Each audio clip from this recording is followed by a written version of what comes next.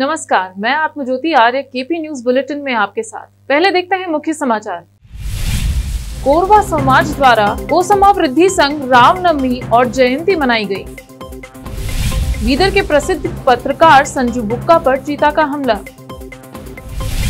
बीदर में बढ़ती गर्मी और चिलचिलाती धूप से लोग परेशान।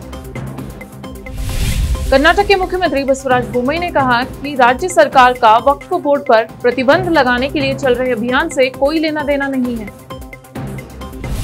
केंद्रीय एजेंसियाँ बेंगलुरु के स्कूलों में बम की धोखाधड़ी की धमकी की जाँच कर रही है, गृह मंत्री। बीजेपी दिल्ली में करेगी नमो सेवा केंद्रों का विस्तार। गरीबों में किया जाएगा मोदी सरकार की योजनाओं का प्रचार।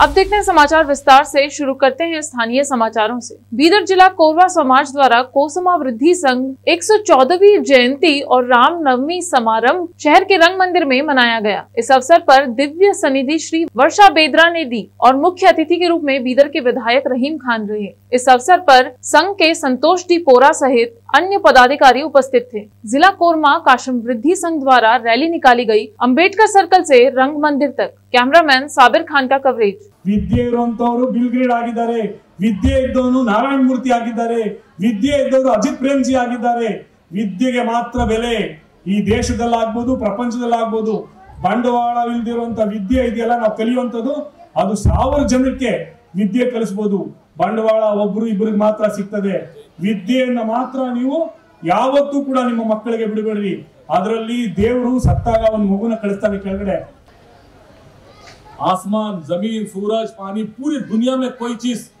एक जानवर भी जिसके घर में आज मेरे घर में कल इनके घर में कल वो इनके घर में एक जानवर जिसको छोटा हम जानवर बोलते हैं वो कभी नहीं बोला कि मैं इसके घर में आऊं मैं आप तुम्हारे घर में हम दूध नहीं देता बोल के भगवान तो उससे बड़ा है ना ये ज़मीन से, धरती से, सूरज, फ़ैन से, वो कैसा बोल सकता है कि तुम ये समाज, हम ये समाज, वो समाज बोल। ये सब दुनिया वाले बना लिए बीदर के प्रसिद्ध मीडिया रिपोर्टर संजू बुक्का पर चीता ने हमला किया।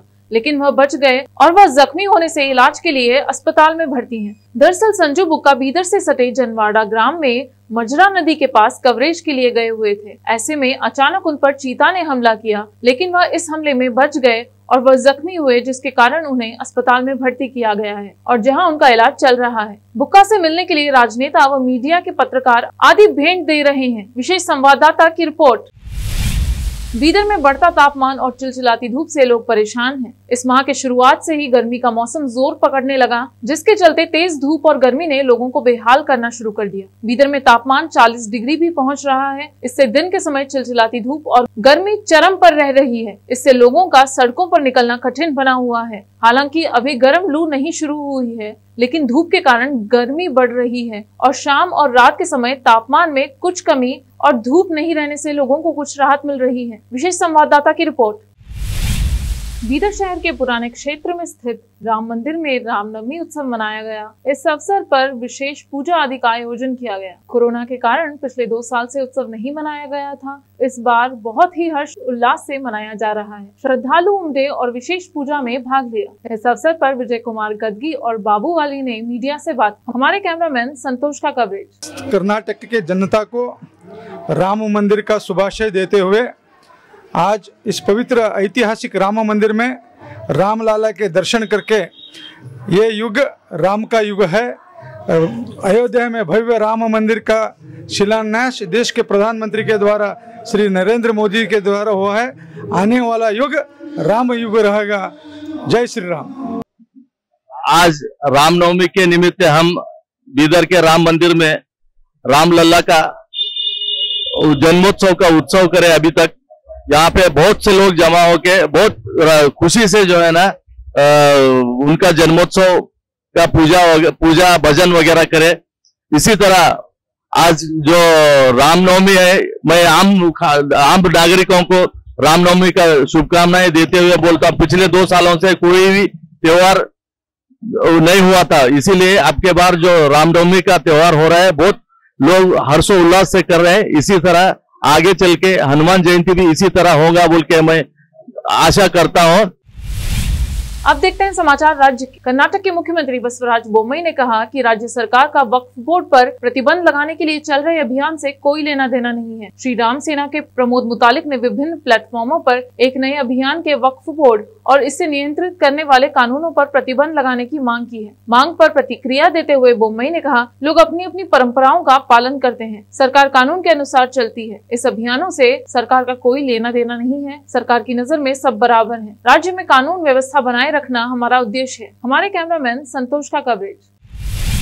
कर्नाटक के गृह मंत्री अरागा ज्ञानेन्द्र ने कहा कि केंद्रीय एजेंसियाँ बेंगलुरु के कई निजी स्कूलों को ईमेल के ज़रिए मिली बम की धमकी की जाँच कर रही है। शहर और इसके बाहरी इलाके से कम से कम पंद्रह स्कूलों को शुक्रवार सुबह ईमेल के ज़रिए बम की धमकी मिली, जिससे छात्रों, अभिभावकों और स्कूल प्रबंधन में दहशत फैल गई, जिसे पुलिस ने बाद में तलाशी के बाद एक अफवाह घोषित कर दिया। ज्ञानेन्द्र ने यहाँ संवाददाताओं से कहा, इस मामले की जाँच और खोज कल रात तक चली। यहाँ कोई बम नहीं था, यह एक धोखा था। हमारी पुलिस यह पता लगाने की कोशिश कर रही है कि फर्जी धमकी के पीछे कौन है और केंद्रीय एजेंसियाँ भी विशेष रूप से इसे गंभीरता से देख रही है। हालाँकि गृह मंत्री ने यह नहीं बताया की जाँच में कौन सी केंद्रीय एजेंसी शामिल है। मंगलवार को मोटरसाइकिलों के बीच मामूली टक्कर के बाद एक 22 वर्षीय युवक चंद्रू को एक व्यक्ति ने चाकू मार दिया। बाद में चंद्रू ने अस्पताल में दम तोड़ दिया। सभी तीन आरोपियों को गिरफ़्तार कर लिया गया। कर्नाटक के मुख्यमंत्री बसवराज बोमई ने कहा कि उन्होंने निष्पक्ष जाँच के लिए मामले को सीआईडी को सौंप दिया है। उन्होंने कहा, मैंने डीजी और आईजीपी और बेंगलुरु शहर के पुलिस आयुक्त से चर्चा की है और मामले को सीआईडी को देने का फैसला किया है। निष्पक्ष जाँच के इरादे से और सच्चाई सामने आनी चाहिए। अब लेते हैं छोटा सा ब्रेक जल्द लौटते हैं ब्रेक के बाद। हिंदुस्तान के हर कोने में हम हैं मौजूद। 24 घंटे हालात पर गहरी नज़र। खबरों से जुड़े चुपते सवाल और आपको दिखाता है धार्मिक, सामाजिक, राजनीतिक लोकल और इंटरनेशनल न्यूज़ की सबसे बेहतर कवरेज। जो आपको रखती है हर पल बाखबर। देश और दुनिया भर की खबर के लिए देखते रहें। KP news 24/7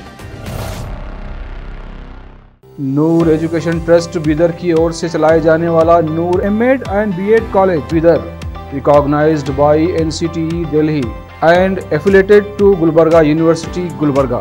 Admission are open for the academic year 2021-22.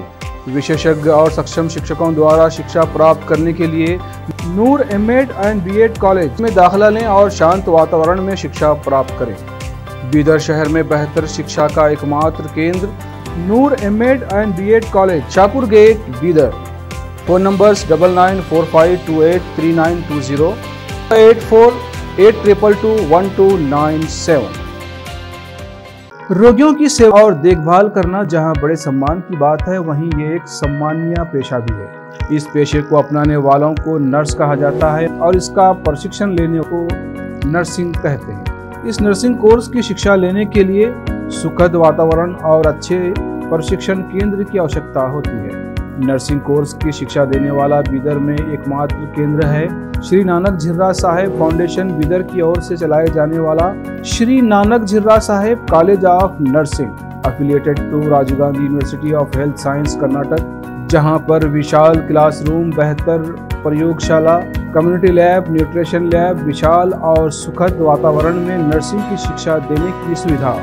विशाल और सुंदर कॉन्फ्रेंस हॉल हवादार और बड़ी सी लाइब्रेरी के साथ साथ सभी प्रकार की उपयोग की जाने वाली सामग्री के साथ एनाटॉमी लैब और एडमिनिस्ट्रेशन ऑफ़िस उपलब्ध है।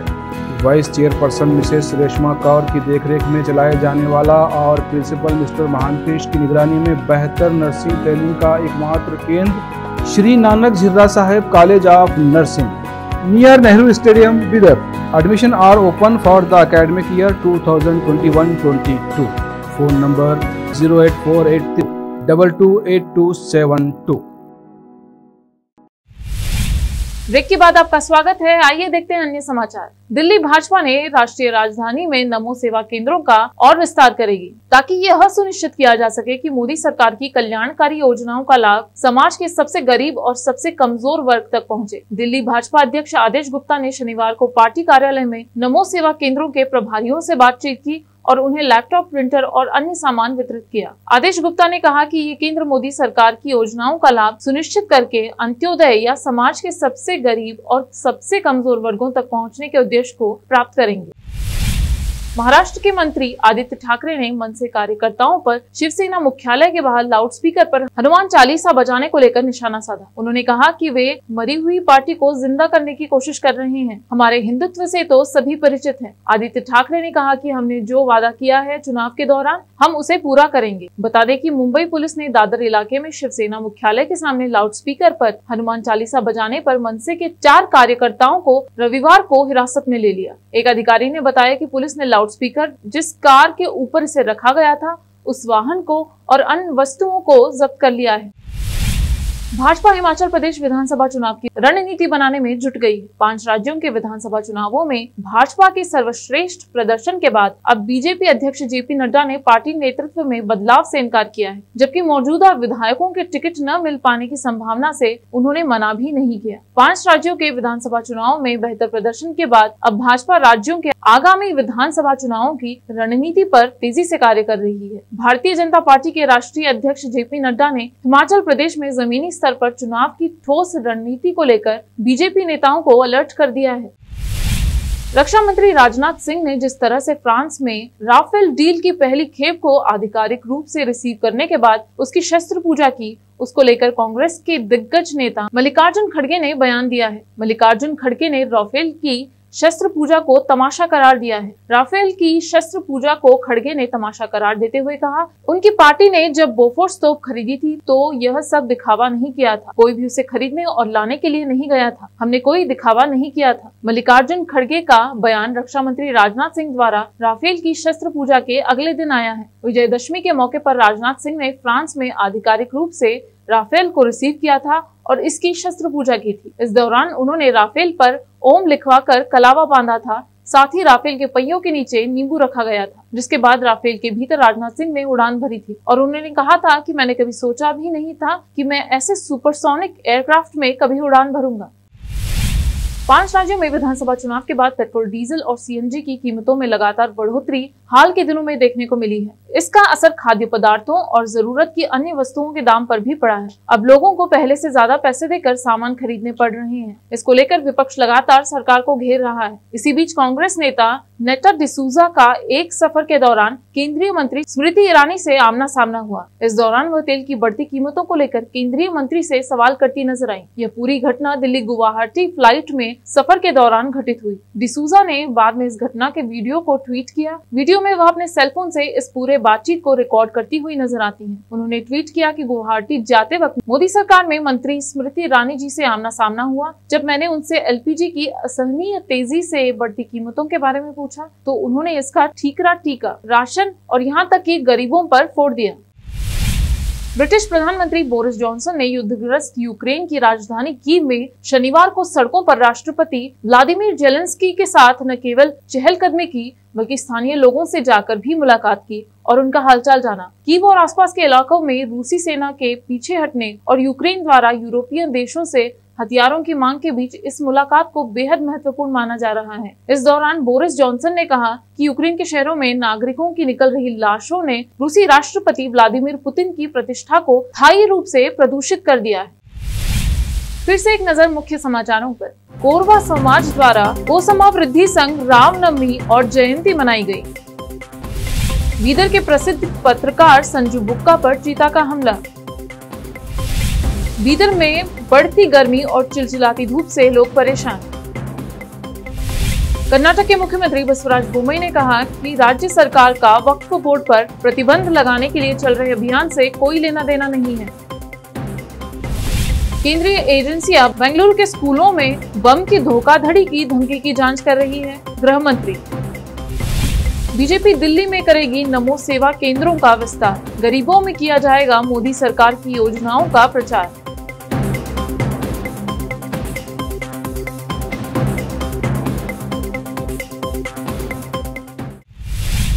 केपी न्यूज़ में इस वक्त इतना ही। समाचारों के लिए जुड़े रहिए केपी न्यूज़ 24/7 से। फिर मिलेंगे कुछ और समाचारों के साथ। धन्यवाद।